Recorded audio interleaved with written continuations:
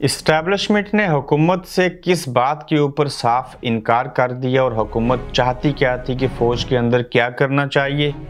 मरियम नवाज़ का double game या double मज़ाक? सुप्रीम कोर्ट की गलती इलेक्शन कमीशन को मशवरा तक दे दिया।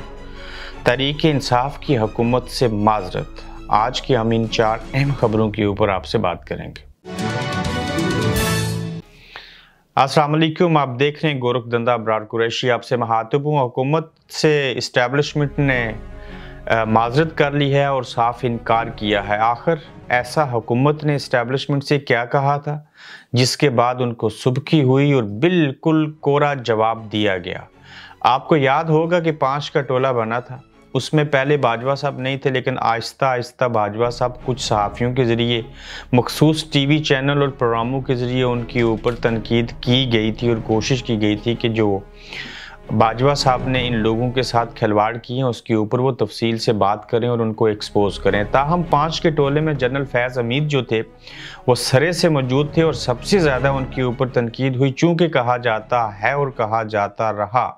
कि जनरल फैज़ इमरान खान के बहुत करीबी साथी हैं, वो आर्मी चीफ बनना चाहते थे। बाजवा साहब को भी फारग करने की कोशिश थी।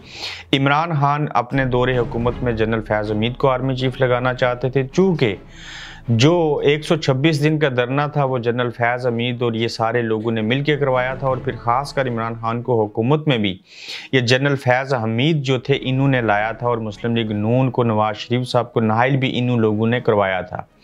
अब जब जलसे जुलूसों में तनकीद हुई तो बारह मरतबा इस्टेबलिशमेंट ने, आर्मी चीफ ने अपनी तकरीरों में कहा कि हम अपने हाजिर और सबक जो रिटायर्ड आर्मी के अफसरान हैं या अपना जो इदारा है, उसका भरपूर तहफ़ और दिफा करेंगी और उनके ऊपर कोई आँच नहीं आएगी। उसकी बड़ी मिसाल, जनरल परवेज़ मुशरफ साहब को फांसी की सज़ा सुनाई गई।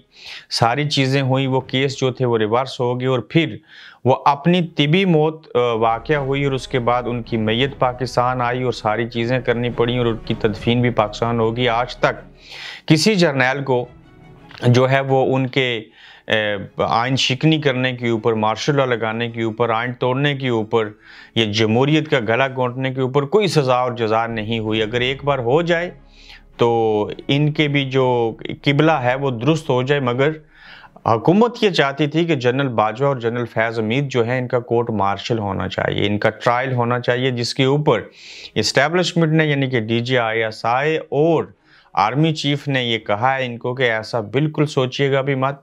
बिल्कुल ऐसा नहीं होगा और ना ही हम करेंगे और ना ही किसी को करने देंगे और ये जो आपकी ख्वाहिश है, इसको अपने ही अंदर दफन कर लीजिएगा। अब अगर ऐसे जब नहीं होगा तो इट्स मीन्स कि जो कुछ पीडीएम की हुकूमत चाहती है, जिस तरह का उनको बयानिया चाहिए, अगर ये कोर्ट मार्शल हो जाता, या ये जो ख्वाहिश की गई थी, इसका मकसद ये था सरेआम कि जब इनका कोर्ट मार्शल होगा, इनको सज़ा जजा ना भी हो, एक ट्रायल शुरू हो जाए तो हम इसको बयानिया बना के ये साबित कर सकते हैं अवाम के सामने कि देखो, हमें हुकूमत से निकाला गया था। देखिए, इमरान खान को लाया गया था, और ये वो लोग थे जिन्होंने हमें तबाह बर्बाद किया, जबकि हम तो ठीक थे। हमारे केसेस झूठे हैं सब कुछ झूठ है। हम सच्चे थे, हम खड़े थे, हम आज भी खड़े हैं और ये लोग गलत थे और हम हमेशा के लिए हैं, यानी कि इकतदार में और ये लोग आर्जी होते हैं, मुलाजम होते हैं, वो घर चले जाते हैं। तो इस तरह से उनको साफ़ इनकार कर दिया गया। अब आगे चल के देखिए कि मरियम नवाज़ शरीफ साहिबा का डबल गेम किस तरह का है और डबल मज़ाक कैसे करती हैं, जब उनकी वालदा उनकी मफरत हो दुनिया से गई और उससे पहले जब वो बीमार थी तो नो डाउट पाकिस्तान तरीके इंसाफ ने और उनके बड़े बड़े लोगों ने मज़ाक उड़ाया, जिसके ऊपर फवाद चौधरी और बाकियों ने माफ़ी भी मांगी। शबाज गिल को भी इदराक हुआ। ताहम सोशल मीडिया के ऊपर उनके, उनकी बीमारी को लेके मज़ाक उड़ाया गया था और उनकी वफात के बाद जो थी वो चीज़ें वजाहत की गई और माफ़ियाँ मांगी गई। नवाज़ शरीफ साहब की ओपन हार्ट सर्जरी हो, छोटी बीमारी हो, बड़ी हो प्लेटलेट्स कम हो जाए, जहर देने की बात हो, सब चीज़ों के ऊपर मज़ाक उड़ाया जाता रहा और मरियम नवाज़ शरीफ साहिबा को ये बातें बुरी लगी थी। आज अब इमरान खान ने कहा कि मेरी जो दकम पेल की वजह से टांग के ज़ख्म दोबारा जाग उठे हैं, मैं अच्छा महसूस नहीं कर रहा। मेडिकल रिपोर्ट है शोकत खानम के जो डॉक्टर हैं, उनके पूरे बोर्ड की उसके एक्सरे रिपोर्ट भी सामने आई और मरियम नवाज़ शरीफ साहिबा इनको लंगड़ा कहती रही और अल्फाज और अलकाबाद से नवाजती रही। और जो उस वक्त तनकीद करती थी, वो आज इमरान खान की टांग जख्मी जो है, उनकी जो बीमारी है, उसको वजह बना के इनका मज़ाक उड़ा रही हैं। इस तरह से कहा जाए तो ये डबल मज़ाक है और डबल गेम है कि अपने खिलाफ बात हो, भले वो गलत थी तो वो आपको बुरी लगी और जब दूसरा हो तो आप उससे, उसका मज़ाक उड़ाएँ तो वो बात अच्छी हो, ये हो नहीं सकता। हाँ ये ज़रूर हो सकता है अदले का बदला। यानी कि जैसा करोगे, वैसा भरोगे तो इट्स मीन्स कि आप में और उनमें कोई फ़र्क नहीं रहा। अगर वो गलत थे तो आज आप उनसे भी ज़्यादा गलत इसलिए हैं कि उन्होंने तो फिर भी माफ़ी मांग ली थी और बात रुक गई थी और किसी की बीमारी का मज़ाक उड़ाना बंद हो गया था, मगर आपने उनसे भी ना सीखा और आज आप फिर से उनके ऊपर तनकीद करने शुरू हो चुकी हैं। सुप्रीम कोर्ट की गलती और इलेक्शन कमीशन ने सुप्रीम कोर्ट को मशवरा दे दिया। इससे पहले बताया था कि हुकूमत ने यह फैसला कर लिया है। कि जो भी अदालत फैसला करेगी, पार्लियामेंट, हम लोग ग्यारह जमातें पीडीएम की उसको नहीं मानेंगे। सरेआम कह दिया गया, बिल्कुल ऐसे ही होगा और उनकी बातों को किसी तौर नहीं माना जाएगा। अब ऐसी गलती सुप्रीम कोर्ट की कौन सी है जिसके ऊपर जो है वो मशवरा दे रहा है इलेक्शन कमीशन? और इलेक्शन कमीशन ने कहा है कि देखिए हम एक आइनी इदारा है, देखिए हमारी एक आइनी ज़िम्मेदारी है, हमारा फरीज़ा है इंतबात करवाना और हम आपको मशवरा देते हैं कि आप हमारे हिस्से का काम जो है वो आपने ज़ुमे नहीं लीजिए और यहाँ बीच में टांग नहीं अड़काएँ। उसकी वजह कि टांग लड़ाएँगे तो फिर हम भी बोलेंगे और हम आपको मशवरा देते हैं कि अपनी डोमेन में रह के काम कीजिए। इंतबात कब करवाने हैं, कैसे करवाने हैं, उसके लिए साजगार हालात कब होंगे, ये हम बेहतर जानते हैं और हमारी ज़िम्मेदारी है।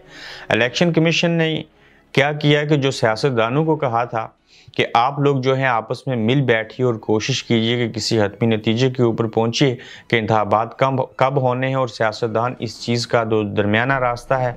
उसको निकालने और बामी राय इतफाक़ के साथ फैसला करके हमें उस फैसले से आगाह किया जाए ताकि हम उसकी रोशनी में जो चौदह मई की तारीख है उससे कबल कबल कबल ये चीज़ें हो जाएँ पहले हफ़्ते मई में तो हम उसकी नई तारीख का जो है वो इजरा करें और फिर से बताया जाए कि कब इंतबात करवाना चाहते हैं, क्या सुबह इंतबात चाहते हैं, क्या कौमी इंतबात चाहते हैं, जो भी आप लोग आपस में साथ जोड़ के बैठेंगे, जो फैसला होगा, जो ड्राफ्ट बनेगा, जो तहरीरी चीज़ें होंगी, उसकी रोशनी के अंदर हम इन चीज़ों को लेके आगे बढ़ेंगे। मगर सियासतदान क्या कामयाब हुए या नाकाम हुए, इसी के साथ जुड़ी खबर ये है कि हुकूमत से तरीके इंसाफ ने सरेआम और खुलेआम जो है वो माजरत कर लिया। क्या तरीके इंसाफ ने ये माजरत की है कि हम मुजाकर नहीं करेंगे?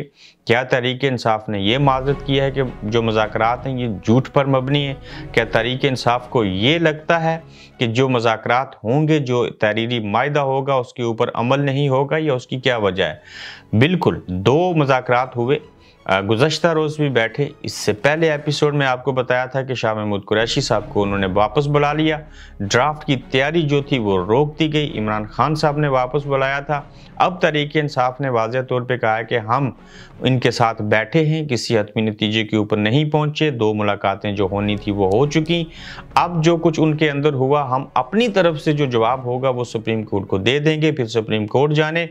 आइन जाने, चीफ जस्टिस जाने और इंतबात कब करवाने हैं, वो हालात देखे जाएँगे। ये सब लोगों को इल्म है, आवाम को भी, आम को भी और ख़ास लोगों को भी कि इंतबात करवाने का मूड हुकूमत का बिल्कुल नहीं है और तरीक इंसाफ भी एक तरह से मुजाकर से पीछे हट चुकी है। उसकी वजूहत में इससे पहले भी बता चुका हूँ।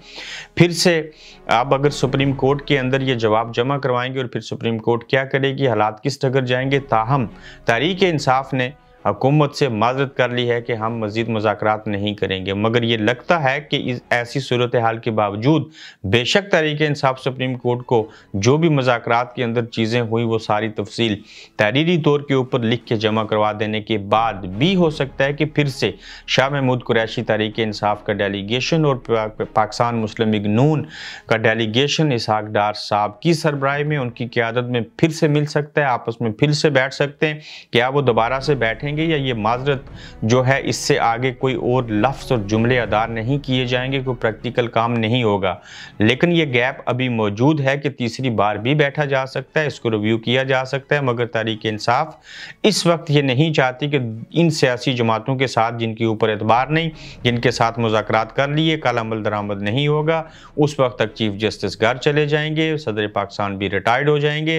रिटायर्ड मीन्स कि उनकी मुद्दत पूरी हो जाएगी तो ऐसी सूरत हाल में उनको खदशात हैं और बिलखसूस अवाम जो है, उसका रद्द अमल बुरा आएगा और जो इस वक्त मोमेंटम बना है, जो हालात बने हुए हैं, एक बयानिया है, उसको कैश करवा सकते हैं कि देखिए ये कमज़ोर हैं। अवाम हमारे साथ हैं, अवाम इनको वोट नहीं देंगी, जिसके नतीजे के तौर के ऊपर ये इंतबात में नहीं जाना चाहते। तो मज़ाक कामयाब होने की सूरत में पी टी आई को नुकसान हो सकता है, नुकसान की दो वजूहत हैं। एक तो ये कि अवाम ये समझेंगे कि ये उनके साथ बैठ गए फिर उनको दूसरा ये लगेगा, हालाँकि जमहूरी जमातें जमहूरीत इसी को कहते हैं कि एक दूसरे के साथ बैठ के डायलॉग के साथ बातें की जाएँ और ऐसा तरीके इंसाफ को करना चाहिए। दूसरा फिर इनको ये है कि अगर मुजाकर हो भी गए, तहरीरी माहा हो भी गया तो हम, हमें नहीं लगता कि ये इंतबात करवाएँगे या इनकी नीयत ठीक है तो इस सूरत हाल को सामने रखते हुए तहरीक इंसाफ ने हुकूमत से माजरत कर ली है।